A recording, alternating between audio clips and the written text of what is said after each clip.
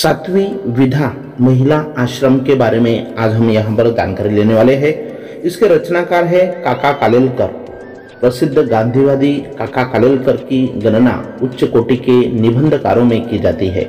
प्रस्तुत रचना पत्र के रूप में लिखी गई है और प्रस्तुत पत्र में लेखक ने आदर्श महिला आश्रम की स्थापना, उसकी व्यवस्था, उसके नियम तथा अनुशासन आदि के बारे में विस्तार से लिखा है। तो इस विधा को शुरुआत करने से पहले हम यहाँ पर रचनाकार का परिचय जानेंगे। जन्म अठारह सतारा, महाराष्ट्र, मृत्यु उन्नीस सौ इक्यासी, नई दिल्ली।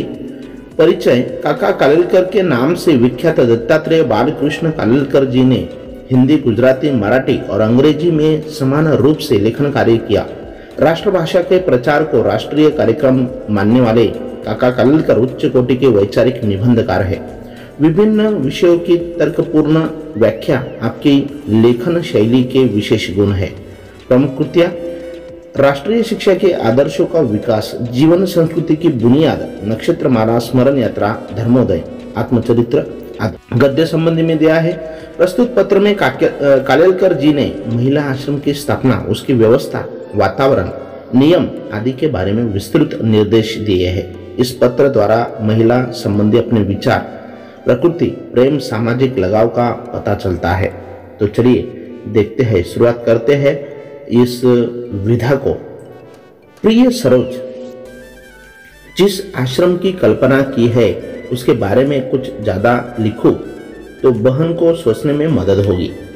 आश्रम, यानी कि होम, घर, उसकी व्यवस्था में या संचालन में किसी पुरुष का संबंध न हो। उस आश्रम का विज्ञान विज्ञापन अखबार में नहीं दिया जाए। उसके लिए पैसे तो सहज मिलेंगे, लेकिन कहीं मांगने नहीं जाना है। जो महिला आएगी, वह अपने खाने पीने की तथा कपड़े लत्ते की व्यवस्था करके ही आए। वह यदि गरीब है तो उसकी सिफारिश करने वाले लोगों को खर्च की पक्की व्यवस्था करनी चाहिए। पूरी पहचान और परिचय के बिना किसी को दाखिल नहीं करना चाहिए।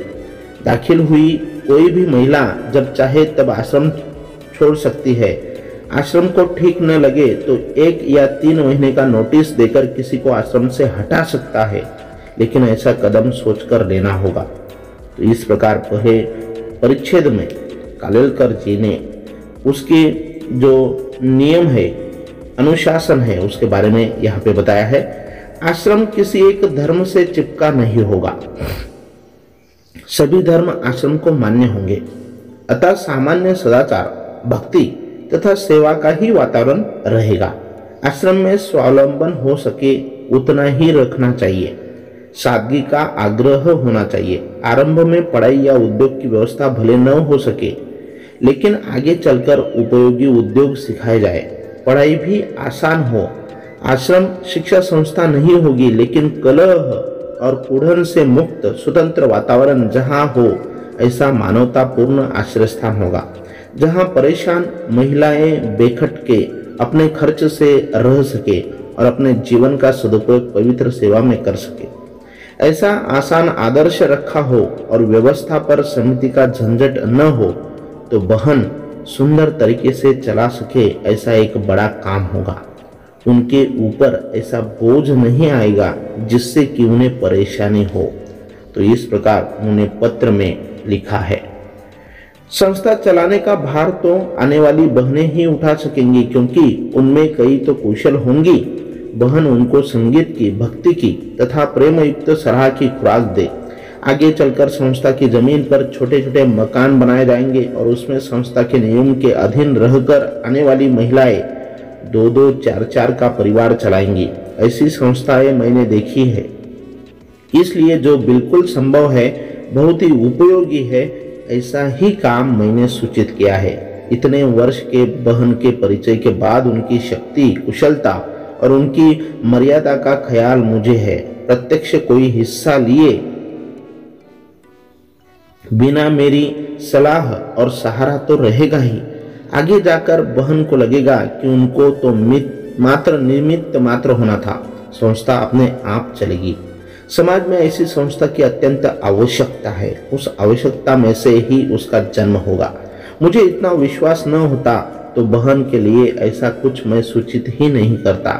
तुम दोनों इस सूचना का प्रार्थना पूर्वक विचार करना, लेकिन जल्दी में कुछ तय न करके यथा समय मुझे उत्तर देना। बहन, यदि हाँ कहे तो कभी उसे, कभी से आगे का विचार करने लगूँगा। यहाँ सर्दी अच्छी है।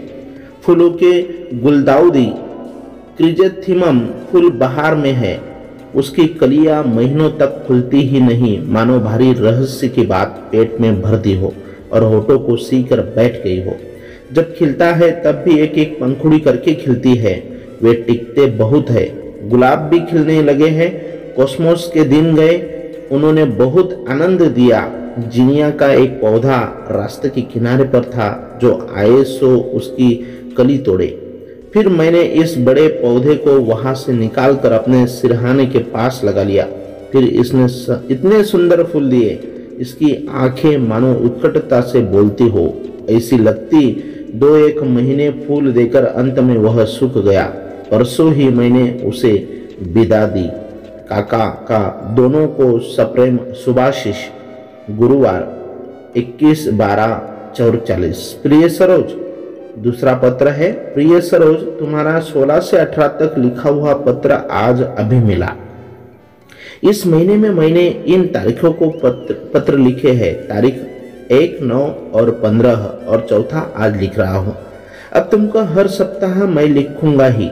तुम्हारी तबीयत कमज़ोर है, तब तक चिरंजीव रहना मुझे पत्र लिखने, लिखेगी तो चलेगा। मुझे हर सप्ताह एक पत्र मिलना ही चाहिए। पूज्य बापूजी कहते हैं तो हिंदू, मुस्लिम एकता के लिए मुझे अपनी सारी शक्ति उर्दू सीखने के पीछे खर्च करनी चाहिए। तुमको मैंने एक संदेश भेजा था कि तुम उर्दू लिखना सीखो, लेकिन अब तो मेरा एक ही संदेश है, पूरा आराम लेकर पूरी तरह ठीक हो जाओ। तारों के नक्शे बनाने के लिए कंपास बॉक्स भी मांग कर रखा है। लेकिन अब तक कुछ हो नहीं पाया है। मैंने अपने फूल के गमले अपने पास से निकाल दिए हैं। सादे क्रोटन को ही रहने दिया है। सबको काका का सप्रेम सुभाषिष काका कालेलकर ग्रंथावली से यह लिया हुआ है। तो इस प्रकार यहाँ पे जो विधा दी गई थी, मिलना आश्रम, इसमें काका कालेलकर ने अपने विचार इस पत्र की सहायता से व्यक्त किए हैं। इसके बाद अब हम इस पर आधारित कृतियाँ देखेंगे। तो चलिए देखते हैं इस विधा पर आधारित कृतियाँ।